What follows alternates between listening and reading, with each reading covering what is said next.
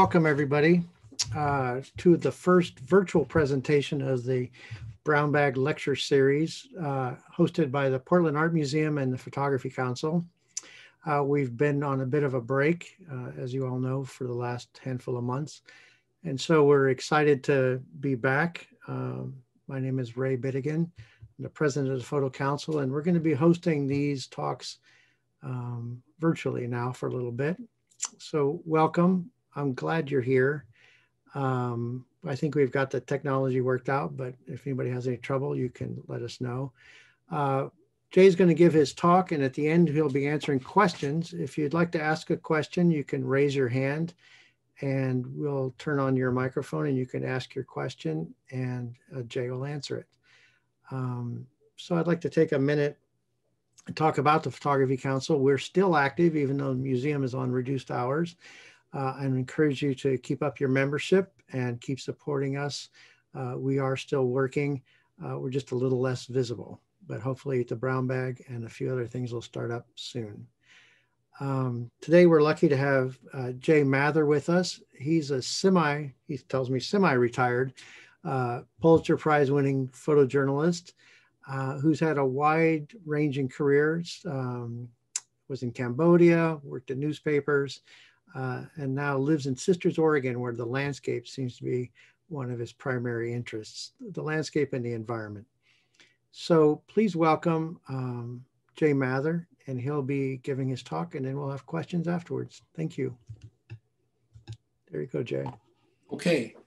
Hello, and welcome to this uh, unique presentation. Um, it's new for me, so be patient if I uh, um, ramble a little bit or get off track or kind of uh, forget to look at the little green dot up on the top of my screen because that's where the camera is. Um, I get to feel kind of like what TV people feel like when they are set to do a newscast and there's no one in the room except them and the, the TV cameraman and maybe the director pointing at them what to do. So um, I have great, greater appreciation for uh, speaking remotely. Um, what I want to do today is to show you five separate shows that are um, kind of uh, benchmarks for me and during my career that began um, when I was in the Peace Corps in 1969. Um, however, the earlier photos from that up until I was working at the Courier Journal of Louisville. I'm not showing any of those right now. There's just not enough time to do everything, uh, nor is there enough time to show you a lot of other projects that I did while I was working at various newspapers, Denver, Louisville, Sacramento.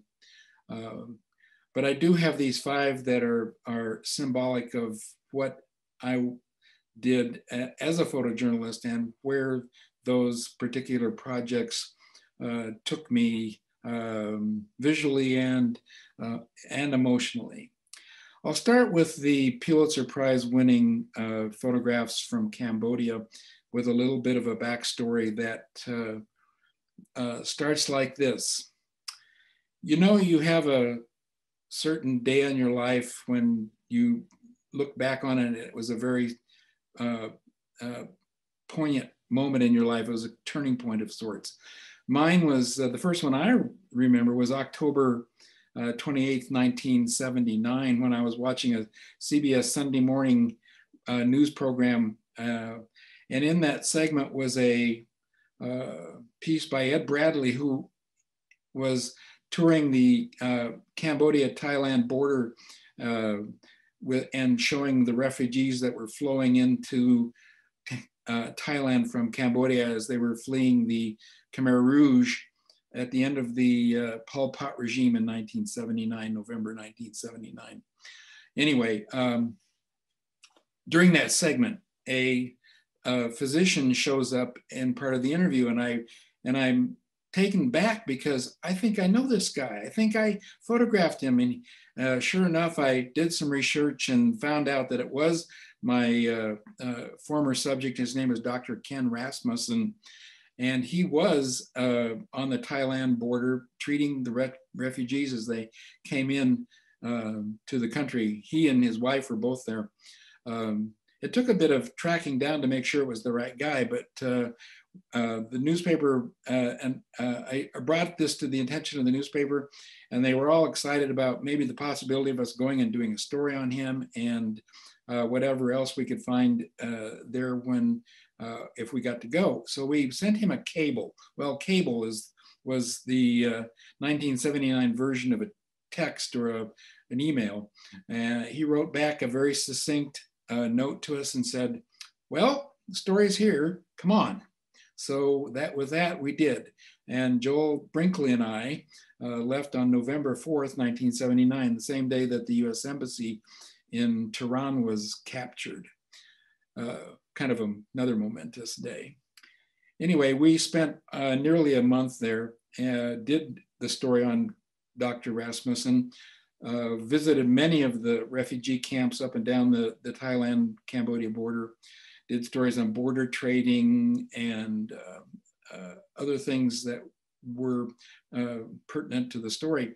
At the same time, people in Louisville uh, worked, worked their side of the uh, story and found out that Dr. Rasmussen was also sponsoring a family from a refugee family in Louisville so when we got home, we had a perfect way to tie up the end of the story by doing a short piece on, on them. Uh, the, the story ran, began in December of 1979, ran five days in the Courier Journal.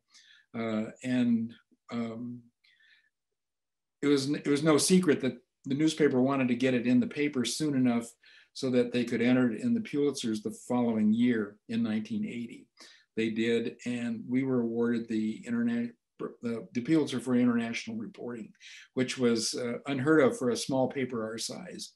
I always considered it as the uh, little blue engine that could. Well, we did.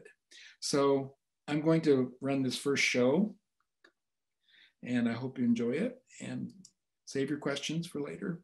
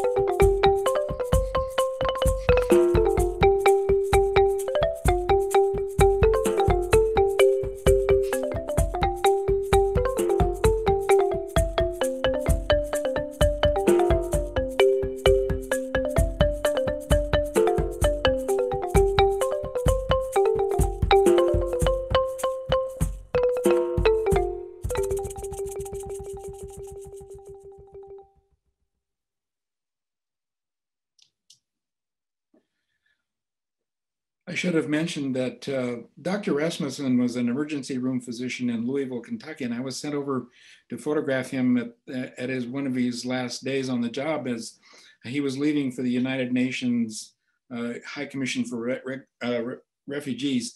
And um, ostensibly, I thought he was being sent to Somalia. So it was a bit of a surprise when I saw him on this video uh, with uh, Ed Bradley uh, out of Cambodia.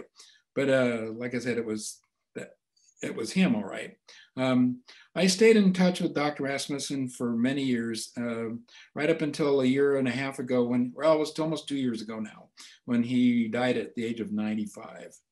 I still stay in touch with his daughter too. Um, you know, after uh, the, the Pulitzer and all, you, uh, you kind of continue on and you try to do the best you can. Somebody is unfortunately it looks like there's always somebody watching your back or seeing if you mess up or whatever because the the Pulitzer comes with a great honor, but it also comes with a uh, uh, the burden of having to do everything perfectly, and uh, of course that's just not possible. But that's one of the pitfalls, uh, and it's something you have to accept. Um, I stayed in Louisville until uh, 19, the end of uh, 1986 when um, the Gannett Corporation was uh, taking over the ownership of the Courier. Uh, the signs were there for me that I needed to move on. And fortunately, I had a, an opportunity to go to Sacramento, California to the Sacramento Bee. Uh, it was still a, a newspaper that had uh, the willingness to engage people, to do uh, big projects, uh, go out of your comfort zone, do things that uh, uh might surprise the readers. I was uh, given an assignment um, in early 1986 to, or excuse me, um, 88. Uh, it was two years after I got there. In 1988, I was sent to the east side of the Sierras to photograph a bighorn sheep roundup from the herd that was down around Lone Pine, California uh, up to the backside of Yosemite National Park. And that was that was a great, great, great experience. Uh, great fun doing that story. And afterwards, I had a hankering to do more in the park. Uh, Yosemite had always been a draw for me. I had been an avid rock climber, mountaineer, um, skiing, backpacking, you know, all that kind of stuff in, in my early years, uh, up until the time that I left Colorado, actually. Um, so the chance to go back to Yosemite and do something uh, was really on my mind. And I wound up talking to one of the biology rangers uh, in the park, and he suggested I uh, do something for the centennial of the park that was coming up in 1990. And I thought, well, there you go. That's a good idea. So I, what am I going to do? I looked around and um, looked and did a lot of research and found out that uh, photography, the biology, the botany, uh, the pretty pictures, that kind of stuff that had all been done a lot and repeatedly. Uh, what hadn't been done to my findings was anybody uh, documenting the human experience in the park, that human beauty in the park. And that's the story I uh, sold to the, uh, offered to the Bee, and they said, yeah, go for it. Well, nobody knew how long this project was gonna be. It took two and a half years and finally, we did get a get the project done. The Bee, along with the uh, cooperation of the Yosemite Association, published a book of my work, and the, the Sacramento Bee did a special Sunday magazine uh, section about the, uh, the project called Yosemite, uh, A Range of Life.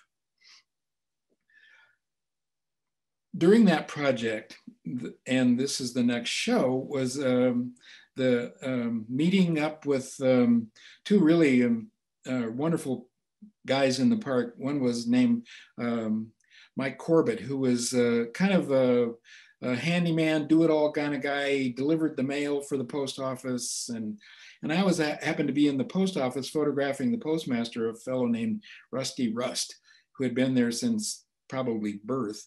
Uh, and I met Mark, and Mark I mean Mike Corbett, he turned out to be one of the uh, uh, best climbers in Yosemite, had having done over 50 ascents of El Capitan. And he told me uh, that he was uh, going to meet up with a guy named Mark Wellman, who was a paraplegic ranger. Mark Wellman had been injured in a in a, in a climbing accident in on uh, in the Sierras in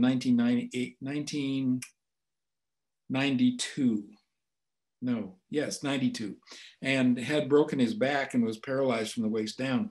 But they thought they could be the first team to get a paraplegic climber up uh, Yosemite's uh, El Capitan, the 3,000 foot granite monolith.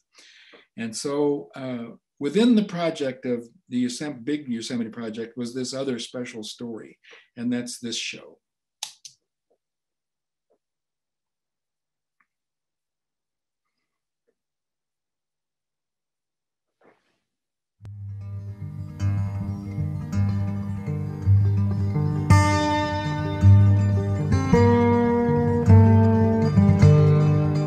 Thirty years ago, July 26, 1989, Mark Wellman, a Yosemite National Park ranger with his climbing partner Mike Corbett, became the first paraplegic climber to conquer the 3,000 foot granite monolith El Capitan.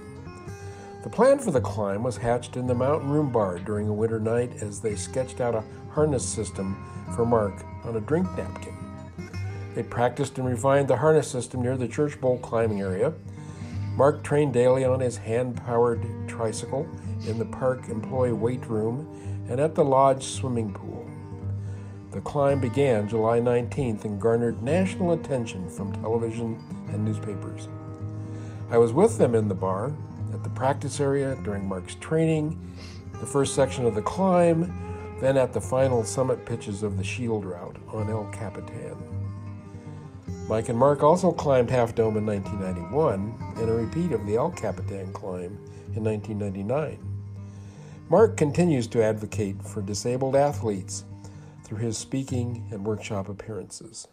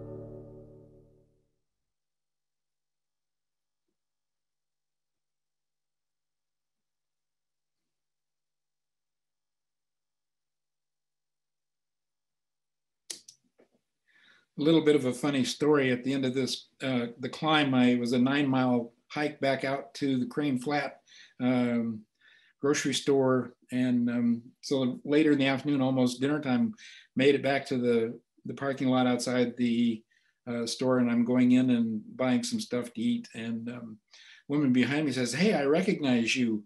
And I said, How do you, how, how is that? And he said, I saw you up on the rock.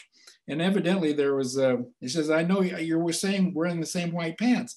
And I, evidently there were people down in the lot, in, in the parking lot, um, in the, what's called the El Cap Meadow, watching the whole climb end um, through big telescopes. But that was kind of a funny, funny little side story. Um, following the, uh, the end of the uh, Yosemite project, there were certainly other things uh, um, going on in the newspaper business in, in Sacramento. And I was doing a lot of daily assignments, but hadn't taken on any really big uh, projects after that. Um, in 1996, my daughter, who was born in 1990, uh, decided she wanted to be a part of the Nutcracker uh, Ballet, uh, which the uh, Sacramento Ballet sponsors every year and, uh, and invites 250 kids to participate in the performances. And of course, that meant I, I should, I wanted to photograph that, of course. And um, the only way I could do it was uh, as in talking to the ballet people, uh, was to volunteer and uh, shoot some of the performances. And that way I could get backstage access. Um, that was the, a wonderful opening for me into a world that I did not know anything about. And it gave me a great sense of accomplishment and uh, pride that I was able to stay with the ballet for the next 12 years until I left uh, Sacramento. And um, in 2007, in fact, after all the years of working with them, they went on their first international tour to China uh, we were gone for two weeks uh, to Shanghai and Beijing, and I got to go with them on this, uh, this trip. It was a wonderful experience. Uh, the ballet gave me a great sense of doing something really different, and I hadn't ever really photographed dance. Um, uh, as a as a photographer, you you and if you shoot sports once in a while, you know that there's peak action and you try to get those moments when everything kind of comes together. And the same kind of thing applied uh, to dance in a in some way. I used to uh, uh, joke with the, uh, the one of the dancers uh, told me once that um, you're either moving toward a move or you're moving away from it. And and I and I said, so yeah, it's like the peak action in a soccer match or something. She said, yeah, that's right. I said, so if I uh, missed the picture, that means you got there late. And they didn't. They thought that was hilarious. But anyway, that was our running joke. Here's the Sacramento Ballet.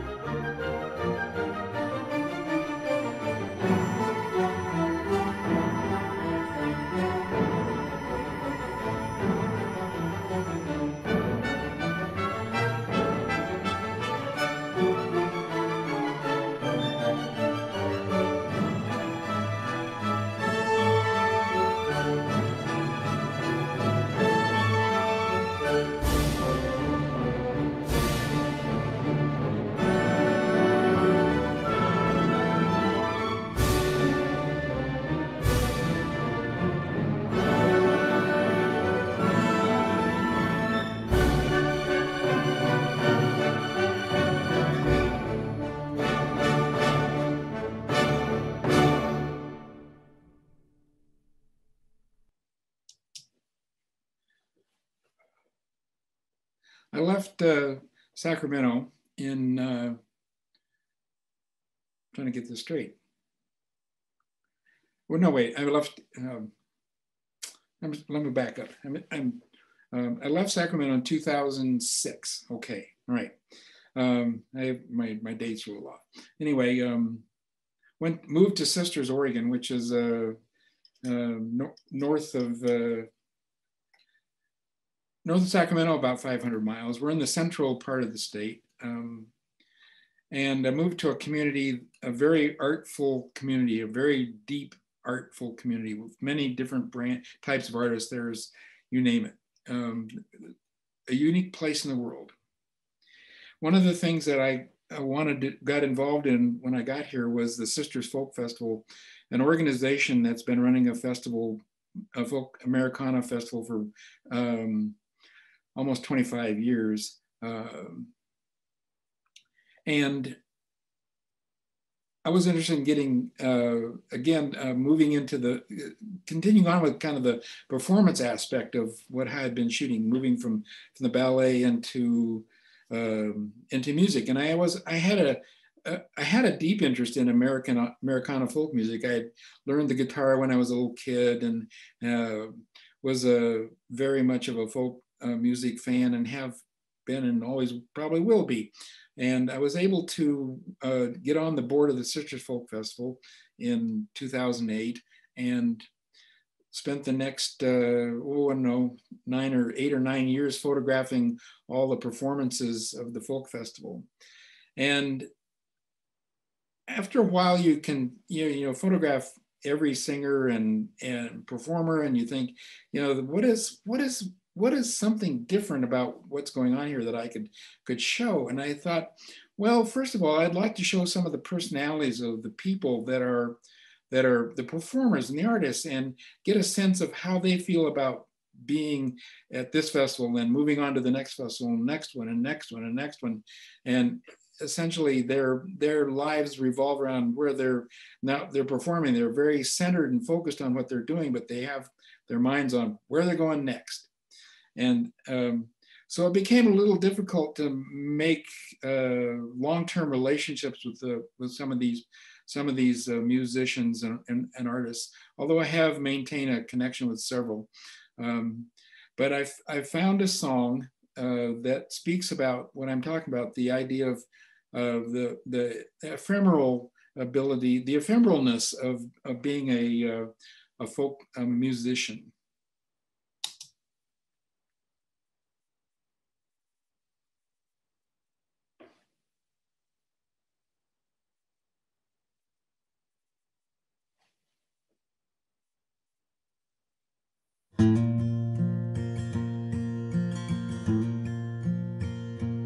Had my share of good times, the taste of love, the kiss of wine. I must have played a thousand tunes from town to town in crowded rooms, and I've tried to stand up and be strong. I've tried to help my friends along, and when I'm gone, they'll weep for me, but I'll be a fading memory. We're here today, and then we're gone. This life will end just like a song.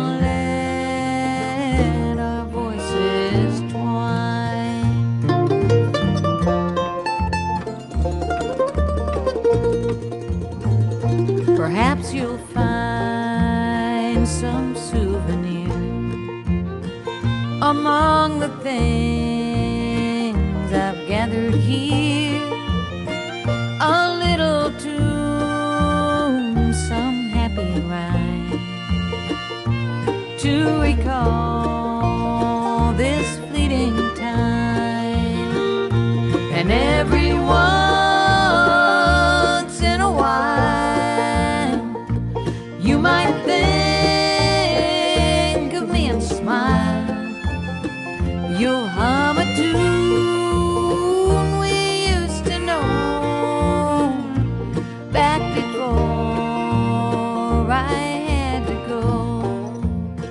We're here today and then we're gone. This life will end just like a song. We only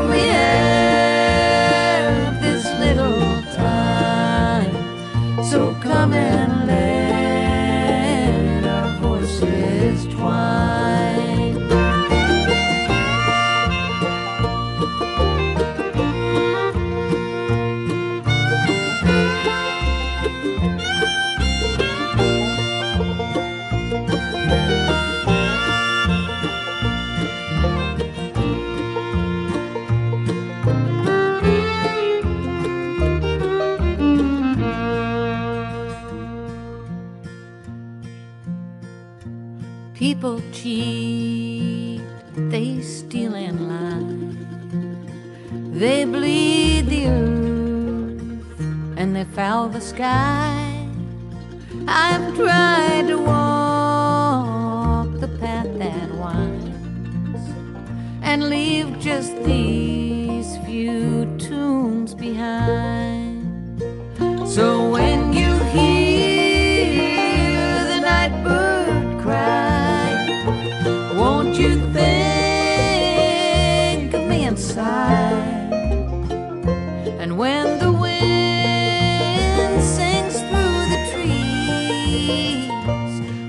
you sometimes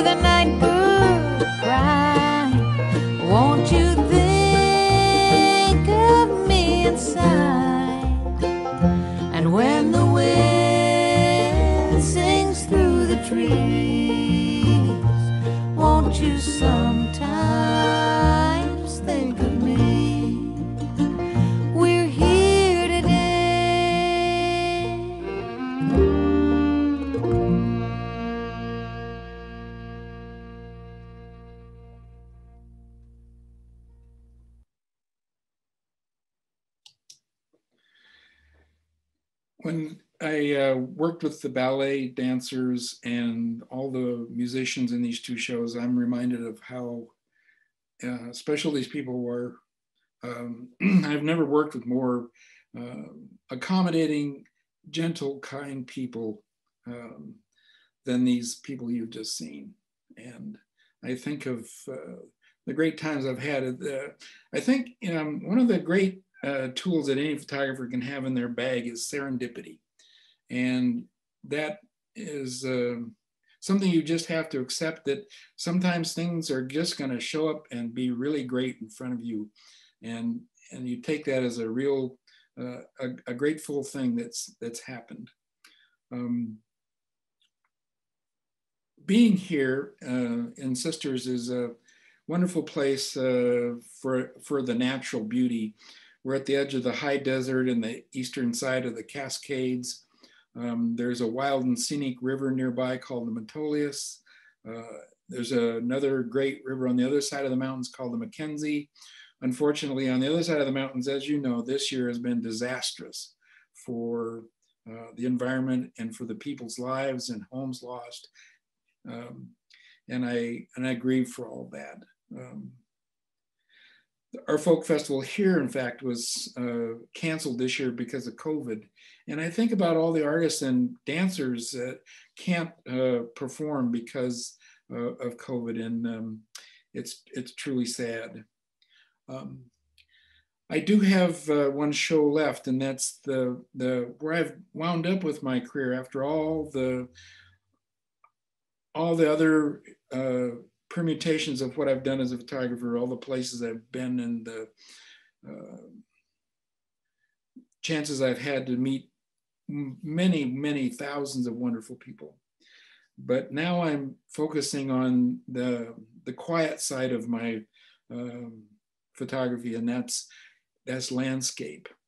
And I don't know where this saying came from, uh, but I, I use it all the time in my head when I'm out. And that is uh, to understand a place is to know the space between the leaves.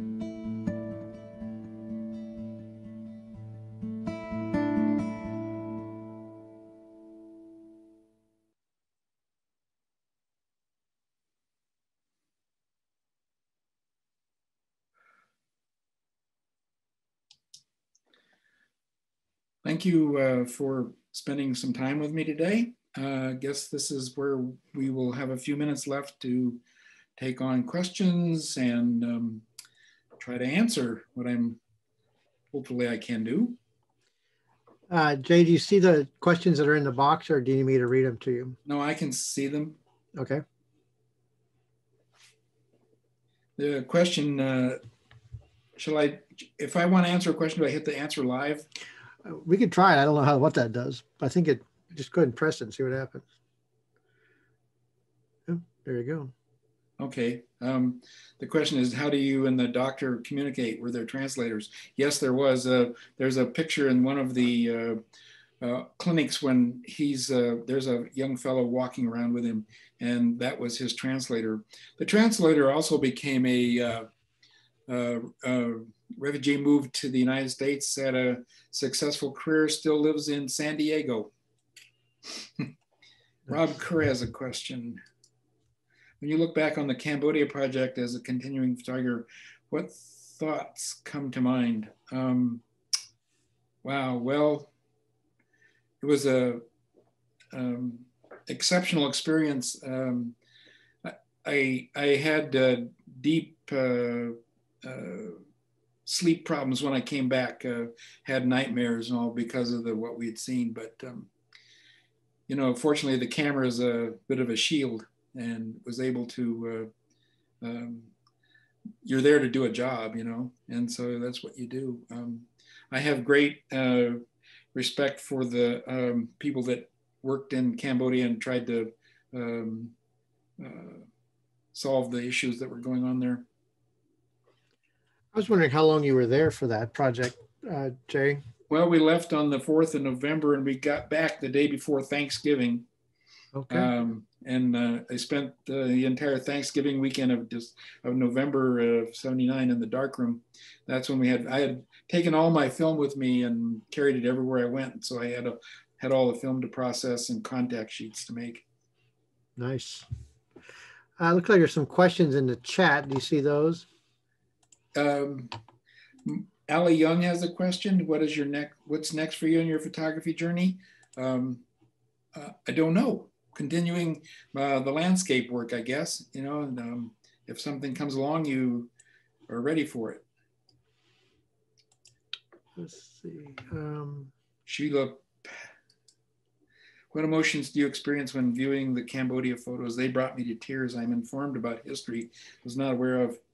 Um, I used to get a big lump in my throat when I look at those pictures from Cambodia, and I kind of still do. Um, there, it's it's so long ago now that you you know I've compartmentalized it and uh, can move on to the rest of my life.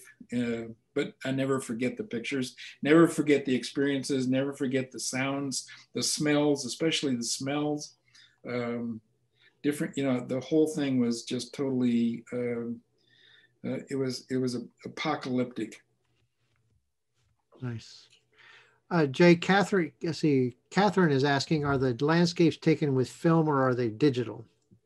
Everything was digital. Okay. And then I have another question from Gardner. Jay, did you climb El Capitan alongside the two climbers to take those photos? Uh, no, uh, there I would have slowed them down. They it took seven days for them to do that climb, and I would have been, um, well, in, in other, you know, there was I had a I had a choice. I did part of the climb with them. We went up uh, the first, uh, oh, I know, thousand feet to a thing called Mammoth Terrace, and I came back from there, rappelled back to the ground. Then um, did other things like photograph the people watching the climbers, the people in the meadows. I mean, that was part of the story too. And as a journalist, I couldn't just isolate myself on the rock with the climbers. That would have been wonderful, but then you missed everything else that was going on around the climb. At the end of the climb, we hiked into the top of El Cap, spent the night, and then I rappelled off the summit of the of El Cap. We went down another five, six hundred feet on on ropes that I had uh, helped setting up with uh, with another uh, guy named Troy Johnson who had climbed El Cap several times, and he helped me uh, set the ropes. And we went down and photographed the last uh, two or three pitches of Mark and Mike finishing the climb. So no, I didn't climb the whole thing. Uh, Eddie Greeley wants to know if you're still in Sisters. Yes, as today, as of today, I am. and there's a couple more in the questions now. Do you see those? Um, uh, Tom Strongman, Bill Birnbaum, do you miss film at all? Or you complete? I I don't miss I don't miss the tediousness of film. It, you know, it's a was a at first it was a really magical process. You develop your film and you had all these little secret formulas that you use to get fine grain and flat negatives that were easy to print and that kind of stuff. But you know, I can do everything and even better, I think, than um, film on a by sitting in a in a well quote light room. nice. So yeah, I, I, don't, I mean, you got to evolve. I mean, film was then and digital's now. You know. Okay, there's a couple more questions, if you don't mind. Um, sure. Kate says, "Is there a story that you wanted and hoped to tell but didn't get a chance to?" Hmm. Yes, there is. One of the program, one of the projects I have always wanted to do um, when I worked in Sacramento was I wanted to do a story on what it was like to be sentenced to life in prison and to spend enough time with some of the lifers there to get a sense of um, and and I probably if I had been there a little bit longer maybe I could have done that I had some connections within the prison system that uh, uh, and there were some new unique things going on. You know that uh, hosp- there was a hospice uh, uh, facility in one of the prisons, and so there was a lot of uh, and other prisoners were offering the hospice count doing the hospice care, so that could have been really that could have been really interesting. Nice. I'm, I did not. Uh, uh, I did not take up firefighting photography this year. huh? And that's a good thing. Do you know Alan Thornton? He's a firefighter, takes pictures along the way. Um, Elaine Korn asks, this is kind of long. I met you shortly after you and Joel had come back. Through all these years, we get to Sisters and the landscapes. It appears there was a lot waiting, waiting in the morning for light, waiting in, in the evening for light. Were the best photos happenstance? And did you prefer morning, evening, or night? Um, I'm not a much of a morning person, so there are, but there are a lot of morning pictures, a lot of moon sets, and you know, I always, you know, you can use uh, Photo Ephemeris. It's a wonderful program uh, for landscape photographers to predict when the light and the position of uh, the sun and the moon are going to be correct, so that you have an idea. You're not just uh, going out um, randomly. You know, you actually know when uh, something might be happening. Although the lead picture in that show um, was just blew me away because I didn't expect, I knew where the moon was going to be, but you never know where the clouds are going to be or how the light's going to be, you know, and, you know, it can be a very, can be just a moon in the sky and no clouds around it or anything. It's just kind of dull. But this was probably one of the most exceptional uh, phenomena I ever saw. So yeah, there's a lot of planning to it, but I'm mostly, I, I like sunsets better than sunrises. Just because I'm too lazy to get out of bed. Uh, one person's asking if this is recorded so others who are not fortunate enough to join today can view the presentation. And the short answer to that is yes, and it should be posted on our Photography Council uh, YouTube page. And so I think if you were to search uh, YouTube for Photography Council, Portland Art Museum, Brown Bag, you would find uh, that there's a will be an archive of these talks. It may take a week to get it up there, but that's our plan. Uh, and then I think there's one more question on the question and answer thing, uh, Jay, from Tom. Strong yes, I see that. Um, I have digitized probably 25,000 images or more and have placed them in um, not just digitize them and sitting in hard drives in my in my drawer. Um, everything I ever shot in Louisville has been returned to the University of Louisville Photographic Archives. Um, all this, the California work has been uh, donated to the History Center for Sacramento. Um, the Yosemite stuff went all back to the Yosemite Museum, um, their archives. Uh, the folk festival has uh, uh, all everything I've shot for them. Um, I gave a hard big hard drive back to the Sacramento Ballet of everything that I shot for them. So they have a historical record of 12 years of photography from, from, from that period of time. Um, the only place that hasn't, uh, I don't have a place for any of the, the landscape stuff because uh, there probably isn't a, a, a, repository for that. It'll just, uh, it'll just hang out there in the, in the ether world.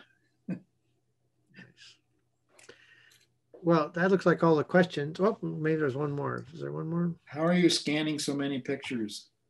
Um, well, I started in 2007 when I moved here from Sacramento. I bought a Nikon scanner, a cool scanner, and just started going through the images. And uh, not that I was, uh, it was motivated, and I wasn't working on it 24 seven, but there were periods of time when I was working quite heavily to get things done. Um, so the whole project really, the archiving everything took me about 11 years off and on. Nice. Well, thank you, Jay, very much. Thank you, Ray. It's, it's been great. Yeah, I mean, it, it feels a little different talking into the TV, but it's cool. Yeah. Um, and thank you all for joining us today. Uh, we'll be here uh, next month on the third Wednesday of November at noon. Uh, and keep your eye out on your email and you'll find out the details. Thank you very much. Thank you, Ray.